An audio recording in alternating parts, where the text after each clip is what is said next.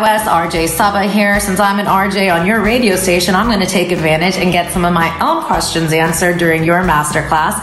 My question is about handling in uh, in studio live interviews with guests. How do you keep the conversation concise? How do you stay in control? Keep it entertaining. Don't eat away too much music time, but also let your guests say their piece. Looking forward to your answer and good luck with the rest of masterclass. So, but that is a great question for the masterclass on radio. Check out the next episode, which is happening on Wednesday at 8 p.m. on facebook.com slash rjwes. Having interviews on radio is really fun, but there's a lot of prep involved. And I can't go over all the things, but we will talk about something called the power of deletion and silence as your best friend during interviews.